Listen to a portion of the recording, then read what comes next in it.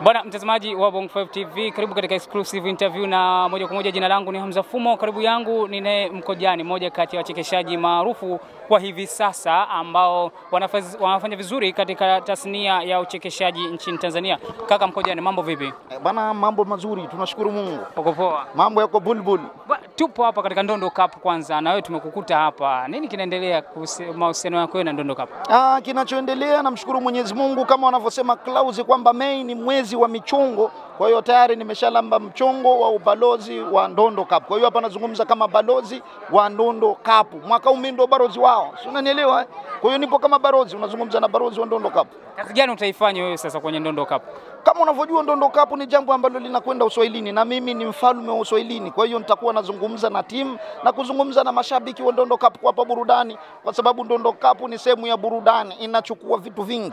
Kwa hiyo nipo katika jukumu la kuhakikisha watu wanacheka muda wote na vitu vingine kama hivyo. Okay, tunaelekea kwenye mechi ya Simba na Yanga. Kwanza kwa upande wako wewe ni shabiki wa timu gani? Simba Wewe shabiki wa timu ya Simba. Okay, unaitazamaje timu yako ya Simba hasa kuelekea kwenye mchezo huu wa watani wa jadi wa Simba na Yanga? siko wazi jamani, tunaitazama ni ushindi tu. Sasa tunatazama vipi hapo? Iko wazi. Kubishana ni kwa sababu binadamu tumeumbwa tubishane, lakini ukweli ni ubingwa na ushindi tarehe nane ni kama upepo tu, ni jambo lishaisha hilo. Eh bwana, imeisha mapema tu tarehe nane, anachinjiwa huku.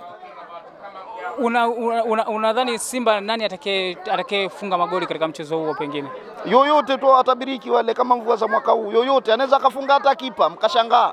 Yaani yoyote pale anafunga, hakuna mfungaji maalum yoyote, kwa sababu tukimsema labda atafunga atafunga fulani, watu watakuwa wanamwangalia huyo huyo. Sasa tusitaje atafunga nani. Kwa mie naona yoyote atakayefunga na afunge, kikubwa sisi tufurahi tu. Vipi kuhusiana na kamati kamati hizi tamaduni hizi za mpira wetu wa Kitanzania, kuna kuwaga na masuala ya kamati kamati za ufundi, tunazungumzia mambo ya watu, utakuta Simba au Yanga wanasafiri kwenda nje kwa ajili ya mambo ya mchezo huu mkubwa, ishu za masuala ya kikamati. Nadhani umenielewa. Mm. Pengine wewe unazungumziaje ishu hizo? Ah, mimi leo naona tuzungumzie Ndondo Cup tu. Kwa hapo tayari nimeshakuelewesha panantosha.